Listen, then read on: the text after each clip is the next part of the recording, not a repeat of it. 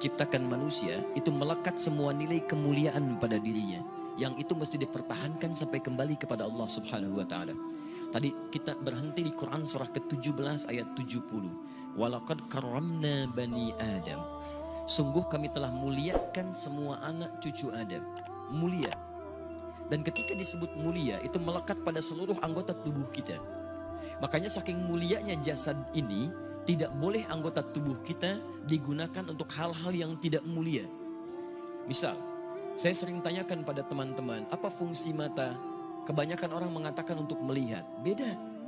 Mata kita ini mata mulia. Karena itu ketika keluar tuntunan tentang melihat, itu penglihatan dilekatkan dengan kemuliaan. Kalau cuma melihat, hewan pun melihat. Dan tidak layak membandingkan mata hewan dengan mata kita.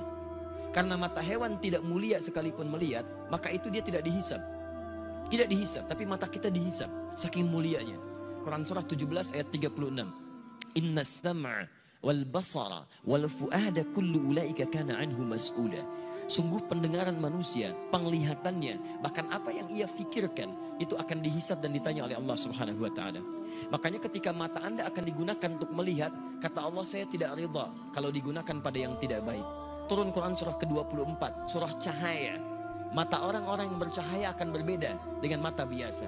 Ayat 30 untuk laki-laki wa kullil mu'minina yaghuddu min absarihim. Katakan pada pria-pria beriman, kalau matanya ingin dipakai melihat, lihat yang baik-baik, yang mulia-mulia. Yang tidak mulia, palingkan. Yang tidak layak untuk dilihat, palingkan. Maaf, gambar-gambar kotor, pornografi, porno aksi itu tidak mulia. Makanya ketika dilihat tidak ridha. Allah tidak ridha, tanda Allah tidak ridha, hati kita pun merasa gelisah dan bersalah di dalamnya. Kalau tidak percaya silahkan. Anda mencoba melihat gambar-gambar yang tidak seronok Hati Anda akan menolak. Karena jiwa Anda mulia. Maka hati Anda mengatakan palingkan itu tidak layak. Palingkan. Bahkan lisan Anda pun dibimbing untuk beristighfar. Astagfirullah Palingkan. Itu nggak bagus. Lisan. Karena lisan ini mulia maka Allah turunkan ayat-ayat kemuliaan menjaga lisan kita supaya tidak keluar dari kemuliaannya. Lisan orang mulia kata-katanya mulia, maka tidak layak keluar celaan dari lisannya. Turun Quran surah 49 ayat 11 sampai dengan 12-nya. Ya ayyuhalladzina amanu dibuka dengan iman. Kalau ada ayat dibuka dengan iman, kalau isinya perintah, maka perintah itu jadi indikator tingkat keimanan kita. Kalau isinya larangan, maka larangan itu pun menjadi indikator tingkat keimanan kita. Kalau ada orang cepat menunaikan perintahnya, maka itu pertanda imannya kuat. Misal, ayat iman pertama di Al-Baqarah ayat ketiga. Alladzina yu'minuna bil ghaib wa yuqimuna shalah. Iman disandingkan dengan solat. Ketika iman disandingkan dengan solat, maka solat menjadi indikator tingkat keimanan seorang hamba. Allahu Akbar, Allahu Akbar. Anda teringat langsung ke masjid. Iman Anda standar. Standar. Orang yang baru ingat Allah ketika dipanggil itu standar.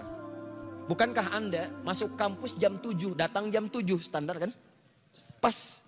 Kalau Anda datang jam 6, waktu jam 7, Anda hebat namanya, lebih awal. Ada orang bahkan sebelum adzan sudah ingat sholat, itu imannya sedang tinggi. Tapi ketika dipanggil sampai adzan tuntas belum datang. Sampai komat berlalu belum terpanggil. Sampai dekat waktu sholat yang lainnya belum ada getaran. Ini menunjukkan iman Anda lemah di situ. Lawannya ketika ada larangan dibuka dengan kalimat iman, maka kemampuan Anda meninggalkan larangan itu itu pun menunjukkan tingkat kekuatan iman Anda. Ya ayyuhalladzina amanu la yasr qaumin qaum. Hei orang-orang beriman jangan saling mencela. Ketika Anda mengaku beriman dan lisan Anda digunakan untuk mencela orang lain, maka ini menunjukkan ada yang kurang dalam iman Anda, lemah iman Anda. Anda terlihat rajin sholat, di situ menunjukkan iman Anda bagus. Tapi saat bersamaan Anda mencela orang lain, ini menunjukkan ada penurunan dalam iman Anda. Karena ibadah ritual akan nampak dalam nilai-nilai sosial dalam bentuk akhlak. Makanya Nabi memperingatkan orang yang melakukan ibadah ritual, tapi kemudian melakukan dosa sosial, maka ibadah ritual pahalanya dipindahkan kepada hamba yang didosai itu. Anda keluar dari masjid, kemudian melecehkan orang lain dengan kata-kata Anda. Lihat tuh orang itu, belum mau ke masjid. Iya, mungkin belum dapat hidayah ya. Iya, bukan ahli surga. Mm -mm. Itu sholat Anda, pahalanya pindah kepada orang tadi. Tu'khadhu hadha min hasanati di hadis Muslim, wa tu'khadha min hadha min hasanati. Diambil pahala ini dipindahkan kepada orang yang dicela. Anda katakan, Alhamdulillah Ustaz, saya tidak seperti yang dibicarakan itu. Insya Allah, tidak seperti orang-orang itu tuh Ustaz. Membicarakan orang lain aja pekerjaannya sama. Sama. Makanya ketika Allah turunkan larangan mencela itu untuk menjaga kemuliaan kita. Supaya kita tidak dihinakan oleh orang lain. Karena orang-orang yang hatinya hina yang akan mengeluarkan kata-kata terhina. Nah kita itu diciptakan mulia. Jadi ketika lisan anda mencela, anda sedang menurunkan kemuliaan anda di mata Allah subhanahu wa ta'ala. Catat itu baik-baik. Nah sekarang persoalannya, ketika Allah muliakan anda, justru anda menyandingkan kemuliaan itu dengan hewan yang jauh statusnya. Maka ini merendahkan kemudian ketetapan Allah subhanahu wa ta'ala itu yang sangat berbahaya. Itu yang paling bahaya. Yang layak kemudian diturunkan statusnya bahkan lebih daripada hewan. Itu hanya orang-orang yang tidak mau mendekat kepada Allah Subhanahu wa taala. Sampai turun Quran surah ke-7 Al-A'raf ayat 179. Walaqad dhara'na li jahannam katsiran minal jinni wal ins. Lahum qulubun la yafqahuna biha. Wa lahum a'yunun la yubsiruna biha. Wa lahum adhanun la yasma'una biha. Ulaika Allah hanya membuat perumpamaan menyandingkan manusia sama dengan hewan, bahkan di bawah hewan ketika semua fungsi tubuhnya tidak mau menerima hidayah Allah Subhanahu wa taala. Diajak untuk mendapatkan kebaikan, akalnya sulit menerima. Dengar azan, tutup kuping. Melihat orang sholat, alergi. Kalau semua itu dibawa sampai menghadap Allah, maka kata Allah status orang itu kalau tidak mau berubah lebih rendah dibandingkan dengan hewan. Lebih rendah. Lebih rendah. Maaf sekarang, ada orang-orang yang mengajak pada kebaikan, ngajak Anda sholat, ngajak Anda mendekat pada Allah, ngajarkan isi Quran, lalu Anda turunkan status yang menjadi sama dengan hewan. Ada yang salah dengan cara berpikirnya.